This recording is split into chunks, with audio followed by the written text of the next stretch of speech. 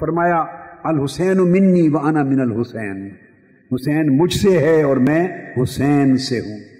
حسین مجھ سے ہے سے مراد یہ ہے کہ حسین کا صدور مجھ سے ہے۔ حسین نکلا مجھ میں سے ہے۔ اور میں حسین سے ہوں یعنی میرا ظہور حسین سے ہوگا۔ حسین نکلا مجھ میں سے ہے، مگر دکھائے گا مجھے اپنے وجود کے ذریعے۔ دنیا کو دکھائے گا کہ مصطفیٰ کیا ہے۔ مصطفیٰ کا دین کیا ہے؟ مصطفیٰ کی سنت کیا ہے؟ ایسی قربانی دے گا حسین، ایسی شہادت دے گا حسین، اور ایسا، ایسے کردار کا اظہار کرے گا حسین کہ اس دن دنیا کو میری سنت کی حرمت کا اندازہ ہوگا۔ اس دن پتا چلے گا کہ میری حقیقت کیا ہے۔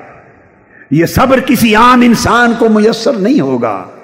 وہ صبر جو حسین کے وجود سے ظاہر ہوگا میدان کربلا میں، وہ حسین کا صبر نہیں، وہ صبر مصطفیٰ ہوگا۔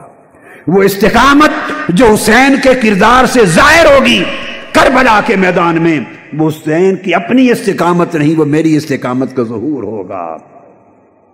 وہ کمال جو حسین کے وجود سے ظاہر ہوگا میدان کربلا میں، وہ اس کی اپنی ذات کا نہیں، وہ ذات مصطفیٰ کا کمال ہوگا۔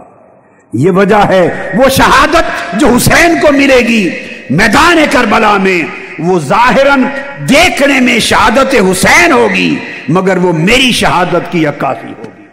یہی وجہ ہے، جیسے قیامت تک میری سیرت کا بول بالا رہے گا، اسی طرح حسین کی شہادت کا بول بالا رہے گا کہ وہ شہادت کسی ایک شخص کی شہادت نہیں ہے، وہ شہادت پھر باطن میں مصطفیٰ کی شہادت ہے۔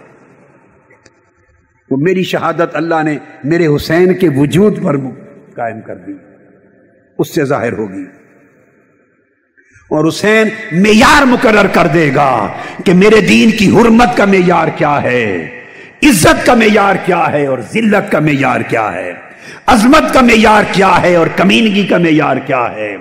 دین سے تمسک کا معیار کیا ہے، وفاداری کا معیار کیا ہے اور دین سے غداری کا معیار کیا ہے۔ امانت کا معیار کیا ہے اور خیانت کا معیار کیا ہے؟ کس کردار کی پیروی کی جائے اور کس کردار سے نفرت کی جائے؟ اور باطل سے کس طرح لڑا جائے، ٹکرایا جائے اور کس طرح سب کچھ لٹایا جائے؟ یہ سبق قیامت تک آنے والی نسلوں کو میرا حسین سمجھا دے گا۔